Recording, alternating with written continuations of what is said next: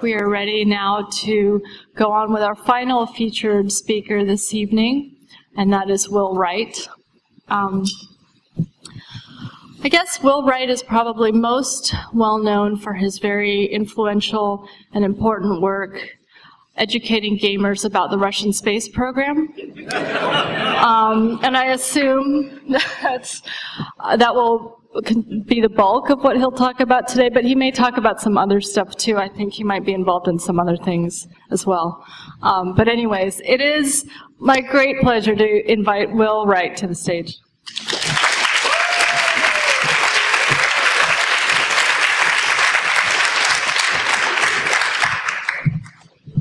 Hi, everybody. Can you hear me okay? So I've been lately very interested in kind of our perception of the world and the way games and entertainment in general can kind of moderate that, you know, in interesting ways.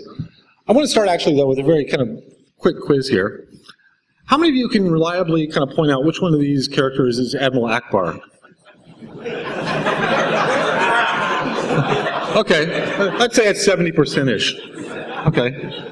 All right, here's another test. How many of you in this audience can reliably kind of identify, of course that's him, Admiral Nimitz? oh, that's easily less than 2%. Okay, that ratio is worse than I thought. Chester Nimitz? Commander-in-Chief of the Pacific Fleet, World War II? Okay, it's this guy. now you know. There's an important distinction between these two characters. that it's interesting just kind of looking at the uh, the ratio here, you know, and I think entertainment in some sense is more real to us than reality. Uh, Admiral Ackbar, of course, has a Wikipedia entry like everybody, as does Admiral Nimitz. And by almost all accounts, Admiral Nimitz was a much more successful admiral. Uh, he basically won the war in the Pacific. You know, he kind of, you know, was Battle of Midway critical. Uh, Admiral Ackbar really, you know, just kind of falls into traps, right? So. But yet, in some sense, Admiral Ackbar, I think, to all of us is more real. You know, we feel like we know him. Now, this ratio here, and I think it's actually worse in this crowd. Uh, I think in the first GDC it would have been higher because there would have been a lot more kind of students in military history. But uh, you know, I think you can pick any two fictional characters and uh, real people, and you get kind of a similar ratio. I think kind of in our culture we have this idea that we consume artificial experiences, whether they be play, story, toys, whatever. Um, before we have a lot of real experiences. That basically we ramp that down over time in our lifetime as we accumulate more and more real experiences. You know, I think that, you know, the real world, whether we're a kid or an old person, you know, we have two worlds really we inhabit now. You know, one's made of atoms, one's made of bits. Uh, I think if we kind of look across, you know, the different generations, we see a kind of a groundswell change here, where the amount of focus and time and attention and reality that we actually ascribe to these things is actually, you know, almost even, you know, with the generations going up right now, the amount of time we spend on the web. Our view of the world is actually moderated through, you know, virtual experiences, remote experiences, etc. Uh, you just look at how much somebody's willing to pay for, like, you know, World of Warcraft character, and obviously people are, you know, ascribing value to these things, and it's very real to them in that sense. Now, I think in terms of our perception of the world around us, we can kind of think of different kind of bubbles of experience that come into us. You know, one is kind of directly through our senses. What do we directly experience?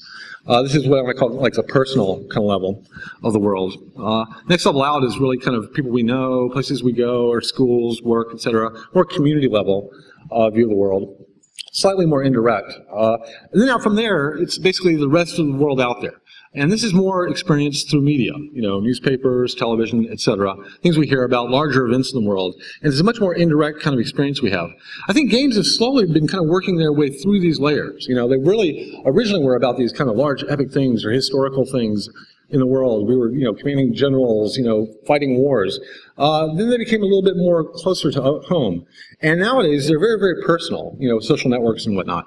Uh, starting with the world, just kind of looking at that viewpoint, you know, games have always, for me, had this really interesting ability to give us different perspectives uh, on the world around us. One of the most influential books for me as a kid was this book, uh, Zen and the Art of Motorcycle Maintenance. And, you know, roughly he talked in this book about how there were two different ways of thinking about a motorcycle. One is very analytic. You know, how do you troubleshoot a motorcycle? How do you decompose it? What's the taxonomy? What's the Aristotle view of motorcycle? The other one is really what's it feel like to ride a motorcycle? The wind in your hair, you know, going down a country road, which is very, very experiential, very zen-like. Uh, neither one of these views really is the correct view. The correct view is some conglomeration of many, many views like that. You know, you can take anything, and it's really the triangulation of many different viewpoints, I think, that give you a fully rounded perspective on what that thing is. And I think this is something that games have done extraordinarily for me as I play games. I kind of get different views of things. Um, I think these perspectives to me are actually more valuable than solutions. Because usually when I hit a really hard problem, it's a matter of me just twisting that problem around and looking at it from 5, 10, 20 different angles. And eventually, one angle is the one where the solution just becomes crystal clear. Uh, if I'm looking at it from the wrong viewpoint, Chris Crawford kind of brought this point up a little bit earlier in the last session. But, uh, and this, you know, for me, I found to be probably the most useful thing in my life when I'm dealing with hard problems. In some sense, you know, games give us different lenses we can put on reality in the world around us. You know, I also have really enjoyed digital photography uh, for a similar reason. In some sense, for me, digital photography is very much like training wheels for my eyes. When you have a camera and you're walking around, you start imagining things from different perspectives, unusual angles. You start seeing things that you didn't see before. In some sense, the camera is really just kind of a training aid for your eye. And after you've carried around a digital camera for a few years, pretty soon you can leave the camera at home. And now when you walk around the world, you start seeing the world in really interesting ways just because the camera trained you to see it that way. And I think games can kind of do that as well. You can imagine anything like, let's say, a city, and you can imagine like, you know, the story in a city, like let's say Batman in Gotham City. It's a whole concept of what a city is. You can imagine playing with little blocks, and that's a different kind of way of thinking about a city. Uh, or just really interesting visuals, you know, very kind of artistic views of cities, or even systemic views. And each one of these captures some little aspect of what a city is. Uh, games, you know, do this again very effectively. Civilization has given me very interesting kind of historical, regional perspectives on cities. Uh, a game like Grim Fandango was very kind of interesting, dramatic, cultural perspective on uh, urban areas. SimCity, of course, is very systemic. Uh, and something like Grand Theft Auto is very kind of tactile, immersive. You know, I really feel like I'm standing on the streets of Grand of Liberty City. All these, of course, are abstractions of what a real city is. Uh, now, in games, we've also got kind of this concept of genres. You know, we basically have these genres that we've populated over time. These are basically kind of peaks that we're uh, fighting over because we know that they make a profit, et cetera. But obviously, there are a lot more genres that have yet to be discovered. And I think it's really exciting what's happening right now in games is that games are diversifying at this incredible rate. And we're actually discovering all these new, you know, kind of areas of gameplay that we didn't even know existed before, primarily due to the indie game efforts. But I think games even are kind of a smaller subset of a larger thing that I would call play, which, you know, play is in the process right now culturally of kind of sending tendrils out into our culture and infusing a lot of other experiences that we don't even really think of traditionally as gaming experiences or play experiences. And so gaming really is becoming almost more of a cultural part of our language. Uh, and we start thinking about uh, other aspects, you know, in game terms when I wake up in the morning, you know, I get my coffee. The first thing I always do is I sit down and play a level of Advance Wars on my DS. And this is just like a habit I've gotten into. And I notice like every now and then I lose my DS or whatever. And I notice that the DS has a much bigger effect at spinning my brain up than the coffee does. Uh, I can live without the coffee every morning. I can't live without my Advance Wars. Uh, and so it's interesting how games are filling all these little interstitial aspects of our lives, you know, kind of minute to minute. Uh, different platforms, et cetera. There's definitely a language. You know, when you talk to somebody, let's say a generation that didn't play games, and they're talking about their kids playing games, on the screen they're seeing, you know, you know, murder and mayhem, guns, explosions, whatever. The kid playing the game, you know, is seeing symbols, they're seeing power-ups, they're seeing bonuses, they're seeing this, that, and the other. Um, the kids are actually, you know, speaking in a language and interacting with that game in a language that somebody just observing the screen does not understand. And that's been a big part, I think, of the cultural kind of resistance, you know, as games have kind of entered the larger culture. And, you know, of course, people can always be obsessive about anything. We see this, you know, not just with games, but with almost anything you can imagine. But games obviously do have this very, very powerful ability to grab people in, to kind of capture their attention for, you know, as Rod was pointing out earlier, 500 hours for an MMO. Uh, and this is something that, you know, is a danger and a benefit.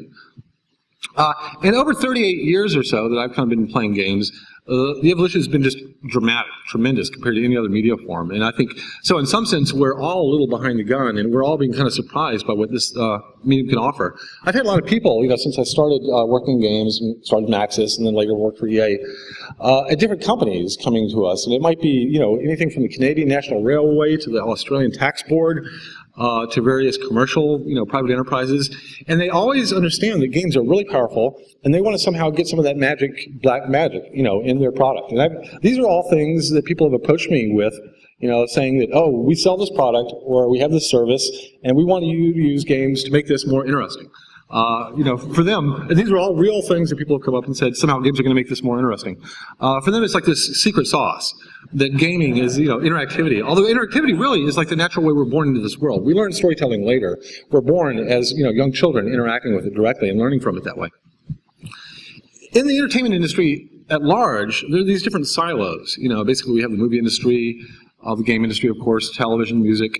Um, they're thought of quite differently in terms of the way they're created. Uh, academics is very similar. You know, you basically have these departments, and they have their own language and their own way of doing things. But really, all the interesting science, you know, to me, seems to be coming from the interstitial areas, the intersections, the interdisciplinary work between these different academic fields. I think the same thing is really starting to happen in the entertainment area. All the really interesting uh, trends in entertainment are coming from the intersections of what used to be very established fields with their own way of doing business. Uh, I think we're kind of entering this era of what I would call interdisciplinary entertainment. Um, we can almost imagine a world in which there are people that just know how to design houses. That's all they ever do. There are a whole different set of people that only design skyscrapers. And a third says that only design factories, but there's no concept of an architect. There's no kind of abstraction of all these different activities into a larger design field. And I think entertainment is really ripe for this to happen right now. People, designers going in as entertainment designers, not as game designers, not as, you know, movie directors or TV producers. Now, as an experiment, I kind of did a very rough thumbnail of the major entertainment areas worldwide. This is just my, my very rough estimates about worldwide value, dollar value of different things uh, worldwide. It's actually kind of interesting if you look, you know, these, I just did a very kind of brief survey of this, and I kind of organized these, you know, roughly with story up at this corner, kind of play, more interactive experiences down here, and this is kind of more miscellaneous in some sense. Um, obviously, there's a lot of kind of fuzziness to the middle here, but it's interesting within this kind of landscape of entertainment, uh, there are flows uh, really interesting currents that have a lot to do with the way entertainment's created, the way it's disseminated, you know, how it evolves over time. Um, you can take any one thing like sports, and you can say it has kind of primary flows. What are the primary, secondary medias that sports goes to? And it has secondary flows after that as well. Um, now, what's also interesting is that there are overall currents in here. Something like movies, in fact, is really upstream in this landscape. So even though the dollar value of movies is fairly small compared to some of the other ones, it's so far upstream that it has a huge influence culturally on all these other fields. So this is like one network through which you know we're working through as an entertainment designer. You know, these are all the different kind of ways. There are other platform, other networks that we actually are working through as well. The kind of what we think of as platforms, hardware platforms, are evolving dramatically right now. There's an explosion of these. This network map is changing on an almost monthly basis in terms of how people are consuming their entertainment and on what devices in some sense, we're actually working on many, many different platforms. Working on the technology platforms that distribute this entertainment, the uh, actual hardware platforms that we enjoy the entertainment on. Then there's kind of a format uh, network of the different formats in which we package entertainment. Then, of course, the brain networks that this entertainment goes into, and the social networks that after it goes into our brain, it goes back out and has kind of secondary influences. Uh, for instance, you know, basically the invention of television allowed us to transmit moving images to a device which sits in your living room where we actually would send half-hour sitcoms going into your brain and you talk about over the water cooler the next day. But as an entertainment designer, you're actually kind of working across all these different platforms at once, and each one has kind of interesting challenges and opportunities. Also, these things, as I said, are evolving very, very rapidly. It used to be that when you came out with a particular piece of entertainment, it was built basically for one platform. So you made a movie, it was made for a movie theater, it was delivered on a 35 or 70 millimeter uh, movie reel. Over time, then we had the ability to transmit that movie over television. Uh, and then eventually color television, cable, you know, VCRs, DVDs, etc. That same movie can now be enjoyed on just countless number of different platforms. It's the same movie, um, but the opportunities of experiencing and consuming that piece of entertainment have broadened just dramatically over time. Even things that we don't think of as entertainment platforms are evolving into entertainment platforms. Uh, you know, basically these screens are appearing everywhere, and as soon as these screens appear, it's only a little bit later that we start figuring out, hey, this is a great place to, you know, you know, have entertainment on my phone or in my car or whatever. You know, we're just surrounded with these things all over the place. And not just screens, but even things like our appliances. Okay, the Roomba, you know, which really, by all accounts, sucks as a vacuum cleaner, right? I mean, it just doesn't work at all. Well, it works a little bit, but um, it's really more of an entertainment device. You know, people dress these things up. They give them names. They become little pets. You know, and it really, it's a toy. It's an entertainment robot for your home that you can tell your friends you bought it to vacuum your floor. We're even turning our real pets into toys uh, in entertainment platforms. Uh, this thing in Up, where the dogs were talking, in fact, is an item that actually exists. You can buy from Japan. You put this collar on your dog, and it translates his barks and whatnot into speech. Uh, and they actually have like the G-rated version and the X-rated version. So we are even turning our pets into kind of electronically enabled entertainment platforms. Uh, now, the game industry, I think, as I said before, is going through this amazing diversification. You know, I think it's something like what happened back, you know, five, six hundred million years ago in the Cambrian explosion. That there's this gigantic diversification of games, and as a result, game communities. These are all real existing game communities, and this is a very, very small map. You know, it's probably a lot more at this point. Uh, and to me, that's a very exciting thing because 15 years ago, everybody was afraid just the opposite would happen. You know, games were turning into $30 million epics that were all geared to 16-year-old boys that wanted to shoot guns. And it was a chicken and egg problem. You know, how do we get more diverse people playing the games? How do we play different types of games, different themes, different uh, genres? And I think that logjam is cleared. Of course, it's incredibly disruptive to the established companies that had been working on kind of business as usual for decades. But um, for me, this is probably the most healthy thing that could be happening to our industry. Uh, you know, as these kind of platforms are exploding in the marketplace, um, we have to think about not just the technology of the platforms, you know, all these different devices we can play our games on, but I think, again, there are other platforms that are equally important. You know, basically the culture that we're selling a game into is a platform in, in and of itself. The psychology of the players, uh, what type of demographics you're dealing with is a platform. So you can imagine each one of these things is a platform that we target a design for, and we can decide how broadly we want to target a game across these platforms. Uh, so for instance, you know, we can decide in, in, the demographic side, you know, we've typically targeted, again, males within kind of a certain age range. But now we're getting games, you know, that old people are playing in their retirement homes. We're getting more women playing social games, etc. But as a designer, you can kind of pick any slice through these platforms. I could say, for instance, you know, what if I want to do games for young girls living in Germany uh, that have a PC? And that's a very particular target. You know, it's an intersection of these three platforms, and you would think it's a very small intersection. Uh, in fact, if you go to Germany and look at you know what's on the shelf, PC game uh, shelf, you find out that these girls play horse games. Uh, apparently, they buy lots of them because there are lots and lots of horse games for little girls in Germany. Uh, so even one little slice through that is actually, you know, a fairly lucrative market if you can kind of get them into that. So certain kind of slices through that uh, platform space are more lucrative than others. Now, every now and then you get something where you're actually getting somebody trying to inclusively capture large groups. I want to get everybody, you know, all demographics, all cultures, all platforms, and that is doable. Um, and it's very rare though, but occasionally it does happen. Uh, it was actually interesting after, after Avatar came out, there were all these news articles about how everybody decided Avatar was about them. Uh, and it was all these kind of local areas that were fighting, you know, it was basically obviously a very timeless story because everybody picked it up and said, oh, they based Avatar on us, you know. Um, and that's a really good example of kind of culturally how you go around and make something that has a universal theme and universal appeal.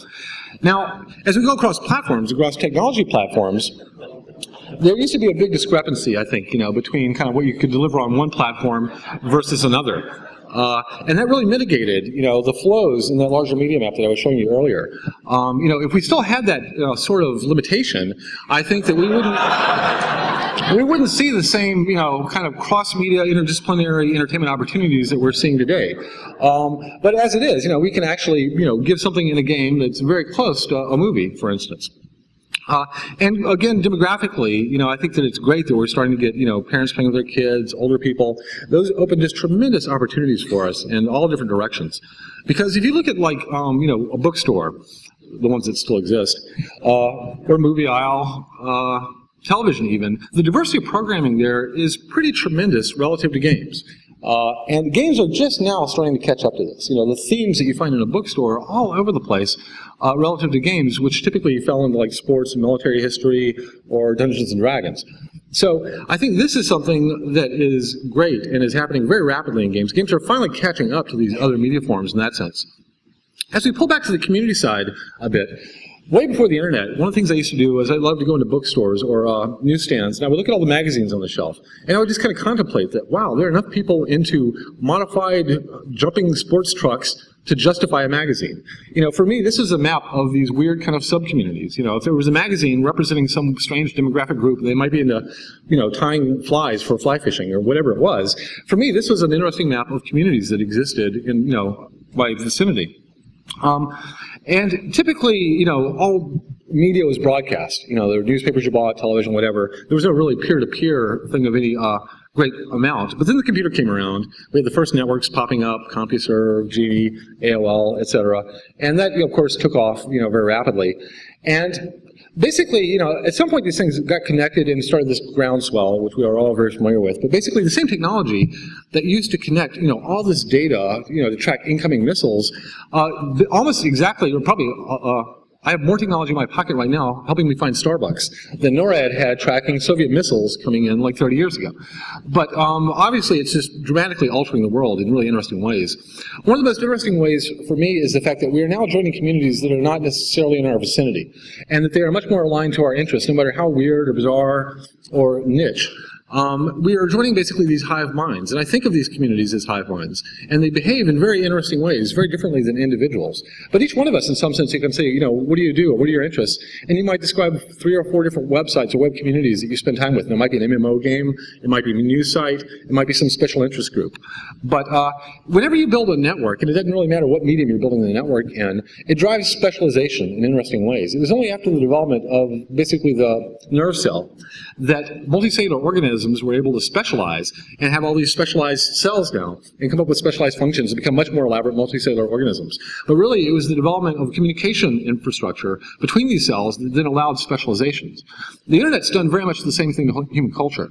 Uh, even back in the Usenet days, the level of communities and the fractal nature of these communities was really kind of astounding compared to what was able to exist before in the physical topological world. Uh, and in some sense, right now, these communities are now, you know, actively competing for heads. It's Rush Week, you know, every day on the internet. Each one of these communities is trying to convince you of its value. Come join us. Spend time here. You know, we're where you want to be.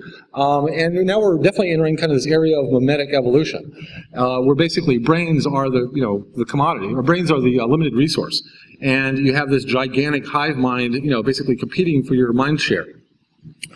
I think about my parents and their generation and their view of the world and their view of their lives and everything.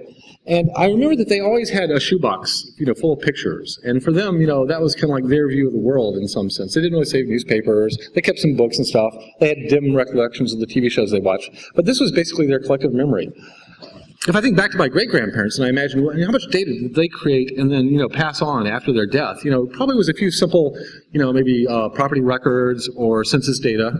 Uh, my grandparents, you know, probably had you know a few of them had journals that they kept that actually you know were kept by their grandkids. Uh, my uh, parents had a lot of correspondence and photos and stuff. Um, you know, I would try to imagine every generation back how much data did they persist into the future? And then I imagined how much data have I personally kind of created uh, so far in my life, and how much am I likely to create before I die? And you know, I think I'm definitely going to be in the terabyte range before I die in terms of data that I've personally created. You know, email correspondence, pictures I've taken, games I've designed, whatever. Um, to me, this is kind of an interesting viewpoint uh, because, in some sense, I think the amount of data that we're all generating in our lifetimes is going through this asymptotic skyrocket. Now, there's another factor here I think is kind of interesting, which is what's the half-life of that data? Uh, over what period of time is half that data being lost? And I think, you know, that data was being lost pretty rapidly, you know, back in my great-great-grandparents' day. You know, records were all on paper, they would get lost, a library would burn down, whatever. Um, and I think the half-life of that data is getting longer and longer as well. Uh, in some sense, we're all leaving behind in our lives this huge digital wake of information that somebody can probably reconstruct a lot of our lives from in interesting ways. This basically used to add up to just separate islands of information where your data was just spread out all over the net, or in a shoebox, or on a thumb drive, or on backup CDs. But um, you know, nowadays, basically, as the cloud appears, all these separate islands are being brought together, and this is the world in which you know. I just had a son recently, and he's you know basically being born into Skynet. Uh, you know, he's going to be awash in data, and almost every record of his life, you know, photos, things he's written, you know, whatever, is going to be recorded somewhere and probably persist very far into the future. This has really interesting repercussions, actually. Uh, when we think about the amount of data, even in the terabyte range, the non-digital content of the Library of Congress is actually only about 20 terabytes. Uh, and sometime later this year, you're actually going to be able to buy a one terabyte thumb drive, which means that you can store basically Library of Congress as it used to be in your pocket which is really just kind of astounding. So data is basically free and storage is free. We're seeing that, you know, in terms of the creations that people do, the amount of data that they're creating. You know, in a game like Spore, within a few months, they've created 100 million creatures, which really surprised us. It totally blew us away. There are only 5 million known species on Earth, by the way. Um, and this is something that they were just doing recreationally in a very short period of time. Uh, we're about to also have these other technologies. As just one example, this how many of you have heard of the idea of smart dust? Uh, this is the idea of very, very tiny little cheap, almost potentially microscopic sensors that you can deploy over an area. The military like wants to throw them out of, out of an airplane. They would just kind of fall down onto the ground. They actually build a wireless grid between themselves. They can act in concert with each other, actually form a satellite antenna. But they can also act as localized sensors, and they can be sensing whatever you want, audio, uh, thermal, you know, vibration, etc. But now you get basically a limited amount of data over a wide area very, very cheaply. Um, one of the things that you potentially could do with these things is you could actually put a DNA sensor on them, which they have now as well, for a particular person. So if you were looking for a bin Laden, you drop these over a large area, and that person is actually going to leave a DNA trail that they can follow basically uphill and target a person. So this is the type of technologies that are going to be part of our world very, very soon, within the next 10 years, certainly. Um, and the amount of data that these things will be creating is just unbelievable, to where at any point in time, if you want to know what the wind currents are over this particular spot on this particular island in the Pacific, you can get it in real time. Oh, okay. Well, y'all were warned about this.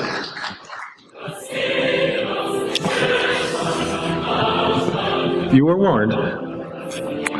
Okay, now, what do Adolf Hitler, Walt Disney, and John F. Kennedy all have in common? Answer? that was a good answer. They were all, at different points in history, very strong patrons and fans of this guy, Wernher von Braun. Um, so actually, I fooled you. It's not the Russian Space Minute. It's the German Space Minute. Although that R7, the uh, Russian R7 there, was a direct descendant of the uh, German V2 and never would have made orbit without the V2 as a predecessor. At any rate, von Braun, uh, back in the 30s was a young man, got very inspired by the work of an American, Robert Goddard who developed the first liquid fuel rocket, uh, and just kind of dedicated his whole life to rocketry after that. Um, he ended up actually joining the Nazi Party just for the opportunity in the army of working the German uh, rocket program. And they gave him lots of resources, and he developed his own little uh, kind of unit where he was building these things, you know, for the war effort, but for him, really, the passion was ro rocketry. Now, Robert Goddard, uh, who worked in rocketry for many years as well, many decades, um, the largest liquid fuel rocket he ever built was about that big. It's, you know, something you fit on a table. Uh, about 10 years after his pioneering work on these rockets, um, von Braun had actually developed the V2 rocket, which was a whole different thing. It was amazing piece of technology, really, for the time in which it was developed. Uh, in some sense, it was like 10 years ahead of its time. And all the basic foundations of modern rocketry were based upon this one thing. Uh, Hitler saw early films of the very first, you know, launches of the V2, and he went ape shit. He loved this thing. Um, you know, he wasn't a very practical guy, but he had a great sense of theatrics, you know, and he just, you know, in his mind imagined millions of these raining down on the Allies, and, you know, this is the weapon that would win the war for him. Therefore, uh, von Braun became kind of his, you know, child star in some sense. He was a young engineer. And so Hitler gave him kind of whatever he wanted to and said, yes, we will rain destruction down on the English. Um, I set up several factories. The biggest factory was Mittelbau, uh, which was actually kind of a slave factory, and there were a lot of atrocities committed here. And there was a lot of kind of gray area about how much von Braun knew what was going on in this factory or not. That was whitewashed, actually, by the U.S. government later on. But um, they ended up building about 3,000, they actually launched about 3,000 V2s during the war, which killed about 7,000 people, mostly the English. Uh, a little known fact was that uh, those, you know, building those V2s killed 20,000 in the factory. So that means for every person in England that died from one of these rockets, three died back in Germany. Uh, so as a military weapon, this thing was really totally a bust. And in fact, the Germans wasted all sorts of money on this they could have better spent on something else. But toward the end of the war, the Russians and the Americans were closing in on the Germans. Von Braun basically kind of knew that he was going to be captured by one side or the other, and he really wanted to go to the American side. So he gathered up his kind of top 100 engineers, and they, you know, brokered a deal with the Americans, and they showed the Americans where a lot of the kind of hidden V2 sites were, and a lot of the V2s were scurried off to America after the war, as were these 100 Germans. Uh, this is basically the 100 Germans that were brought over under great secrecy at first, and they were settled in the suburbs of Alabama. And they started working for the U.S. Army immediately. Um, they all eventually became U.S. citizens. Uh, around this time, in the mid 50s, Walt Disney, you know, who was totally into the future and all that, was totally getting into space as well. And at some point, he met von Braun as von Braun was working with the Army on the rockets, and he was totally entranced by von Braun, who was a very charismatic guy. And they hit it off right off the bat, and together ended up producing three short films about the future in space. And these were very prophetic films, you know, kind of showing about how things like docking maneuvers would work, how we build space colonies, how we might travel to Mars. Uh, a lot of these concepts became basically the keystone concepts for other later works of fiction, like 2001. But um, basically, it was a blueprint for the stars that von Braun had had in his head all along.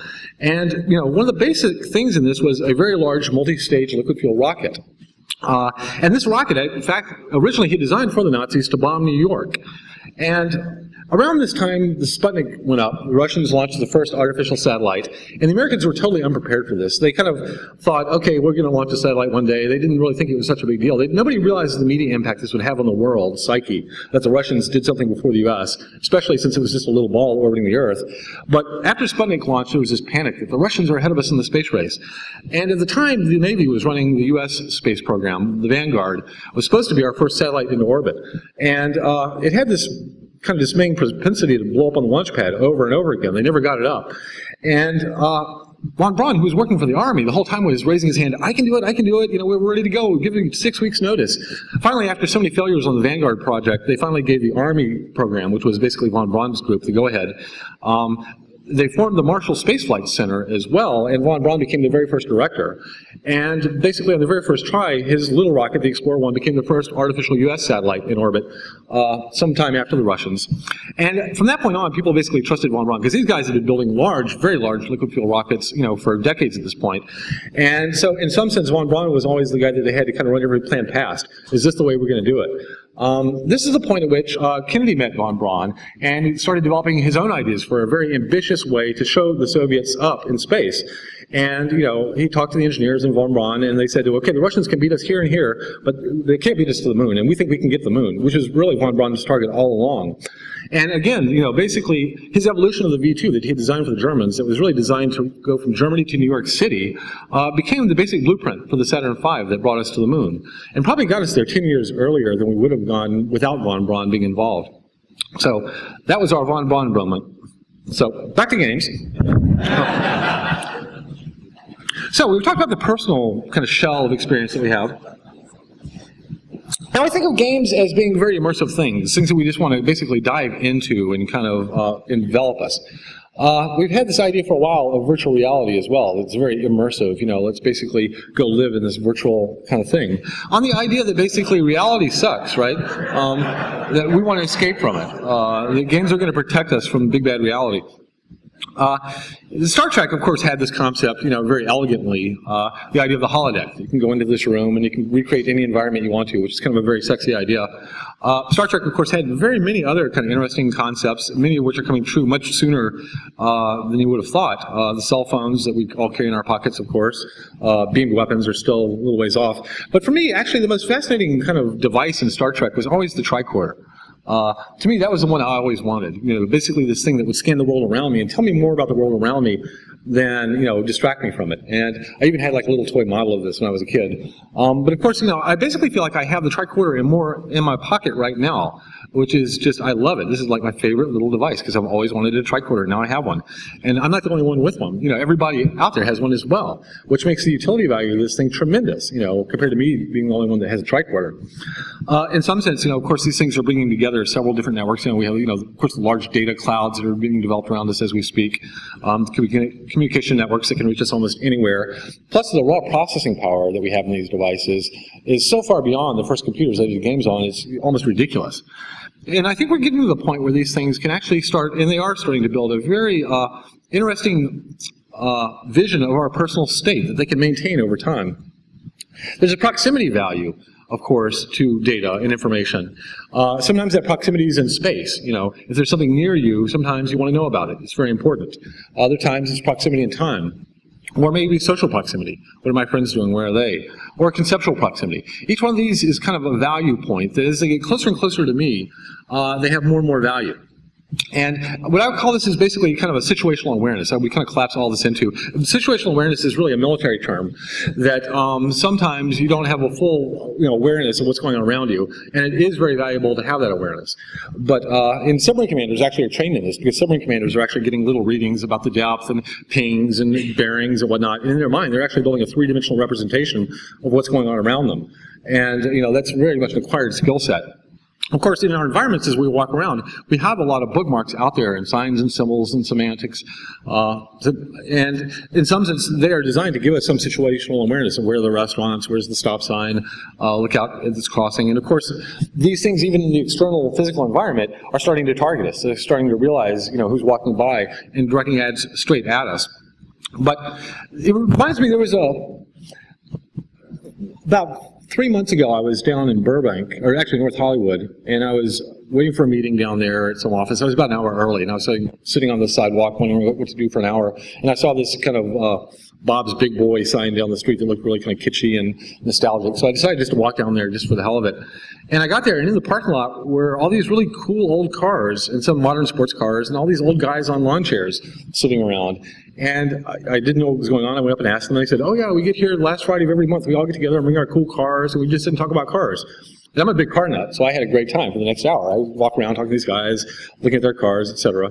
Um, you know, it occurred to me that you know, it was only because I happened to see that sign and walk down the street that I ever, you know, spent that hour that way. Otherwise, I would have been, you know, bored sitting over here.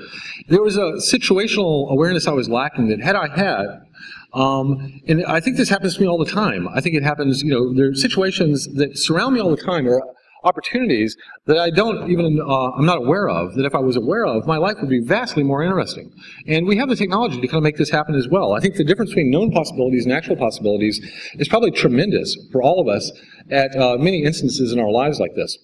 You know, right now, I in my head, I have my world state I hold in there, and I have a world, uh, my own physical state, my own mental state, and that kind of adds up in my mind what I think the possibilities are around me.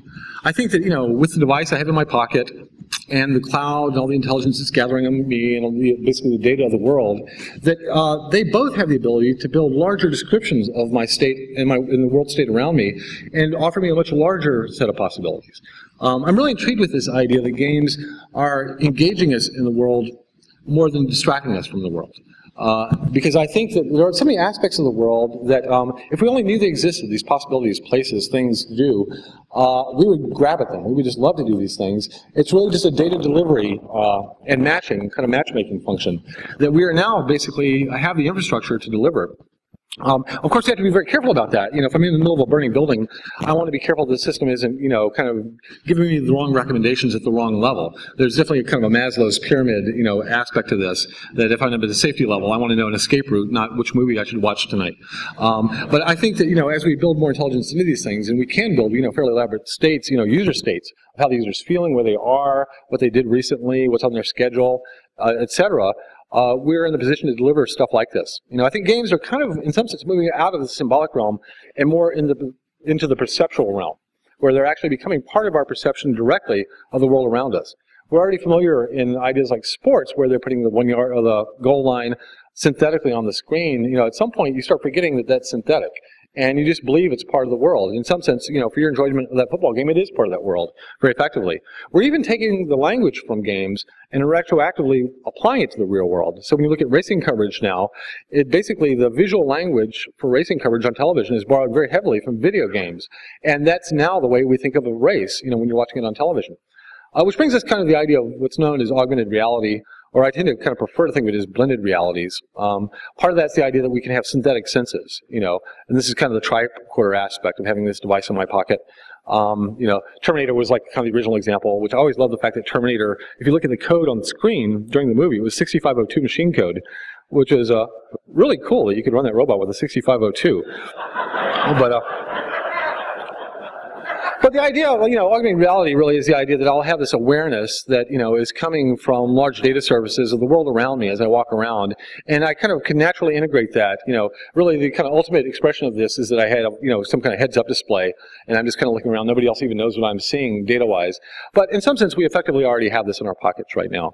Uh, so I think that's kind of a moot point. One day we could have one of our glasses, maybe, maybe not. But um, we're even seeing this go down to the toy level right now, which is kind of really astounding to me. This is actually advancing faster than I ever would have predicted. Uh, but it gives us the opportunity to have our things come to life in interesting, kind of unexpected ways. We can have imaginary play friends that accompany us everywhere, and we have deep and meaningful conversations with. Um, you know, we can turn the world into a psychedelic experience or put different overlays or filters on it. But, or, you know, essentially we can all be psychic, you know, in some sense. You know, we were basically entering the realm of having, uh, you know, supernatural powers, you know, through technology.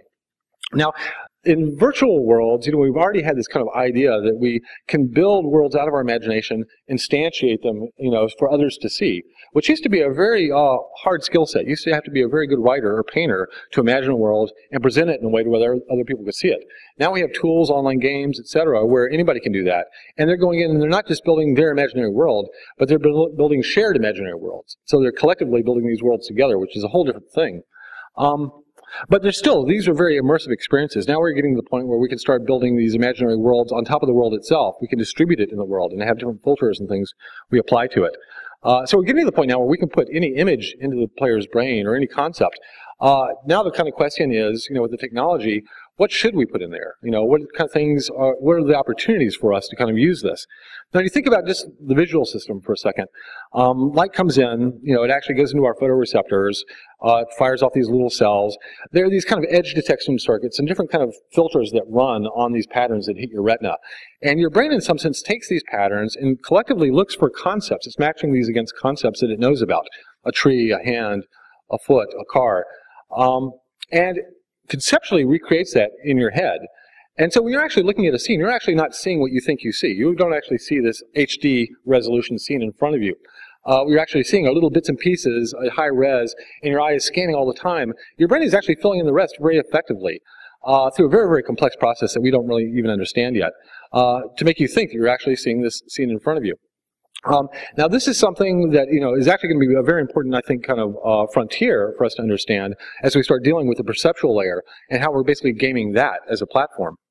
Uh, the audio just as well. I mean, there's certain things that we can discriminate in audio that uh, doesn't matter how we visualize it, we can't. There was actually a thing that the Santa Fe Research Institute did many years ago.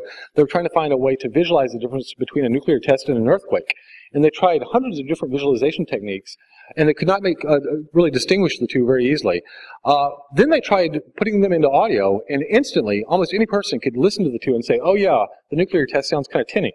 Um, we have discrimination circuits in our ear. They're totally different kind of computational circuits in our eyes.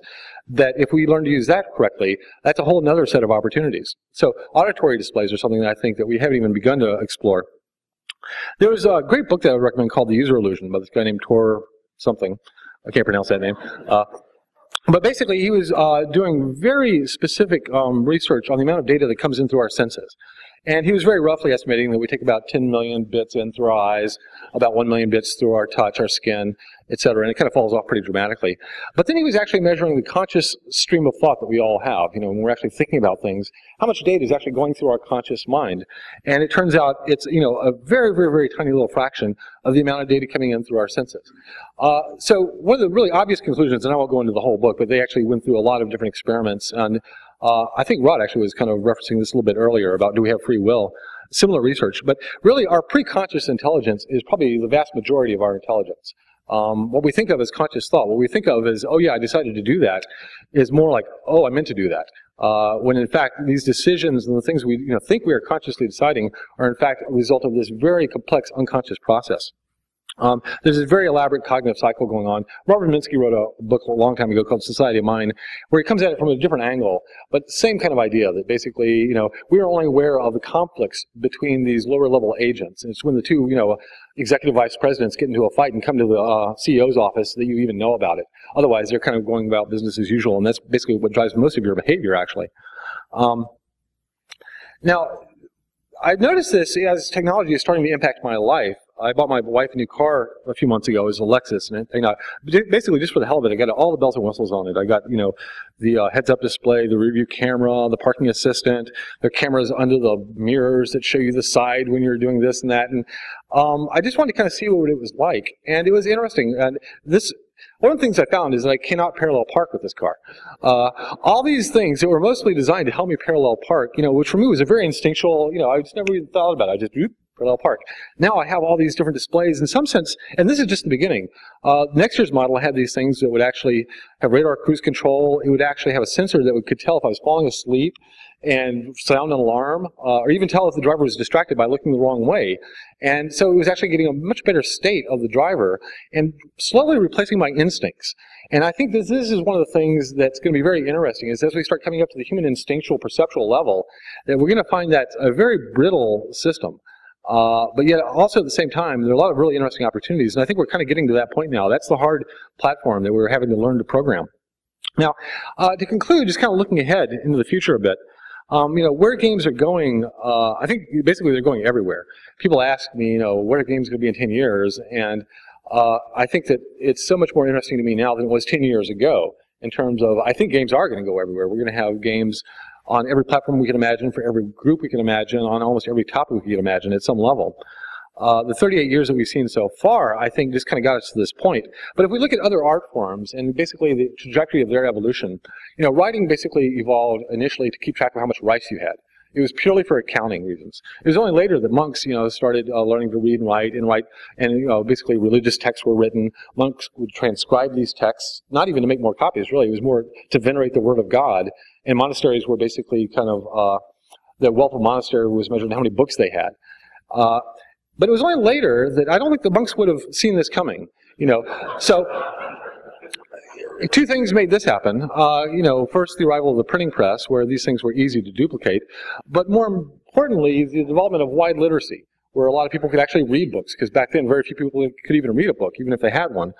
But um, almost any type of media has gone through this really interesting evolution. What it is nowadays is nothing like the way it started out you know, what we think of as comic books actually started out as religious plates. They were basically propaganda. Uh, this is a plate showing how while Jesus would watch, you know, his followers' feet, the Pope was demanding that people, you know, bow down to him. And so it was really kind of propaganda against the Catholic Church.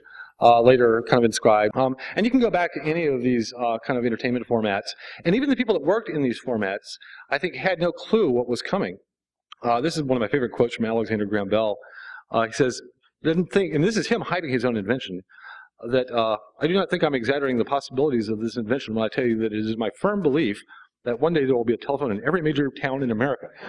now, now, this is a guy going out looking for investors, hyping his invention, um, and he's slightly underestimating the potential of this invention.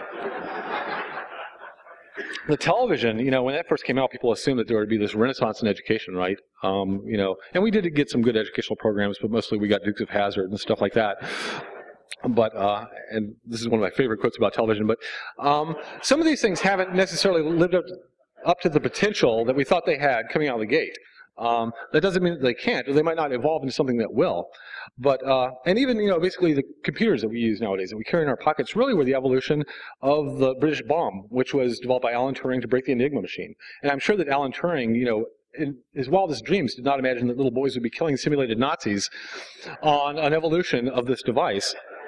Uh, of course, the internet is like the prime example where it was built for military research and now it's primarily used for trading rare Pokemon cards and downloading porn. Uh, so any one of these things, you know, I think games are going to be no exception to this. You know, where they're going to go, uh, you know, these things all have gone from, you know, starting out as very specific problems they were trying to solve. Later, they broadened into very wide entertainment formats, uh, where very, you know, diverse set of things were done. But only later, after that, did they then start aspiring back up to artistic expression. And they became, you know, what we kind of call art, which I tend to think of as a meaningless term. But I'm sure games now have this opportunity. I think we were in danger of being stuck at the bottom uh, level here, but now they are clearly kind of trending back upwards, I think. Now we can think of almost any technology as an extension of the human body. You know, cars extend our legs, uh, television, telescope, our eyes, telephone, our mouth. Uh, house, clothing extends our skin. So almost every human te technology is some amplification of part of our body in some sense. Computers, internet, well, networks, etc., expand all of these things in interesting ways. But I think the most important thing they expand is our imagination in our brain. Uh, you know, in some sense, I think of these as imagination amplifiers. We're now able to construct, you know, these elaborate worlds, play with them, interact with them, talk about them, and also do it with other people. Share these models back and forth. And I think that, you know, for me, this is going to be one of the most uh, probably culturally impactful things that our medium can really offer. So that's the end of my talk. And I have time for about four minutes of questions. Thank you.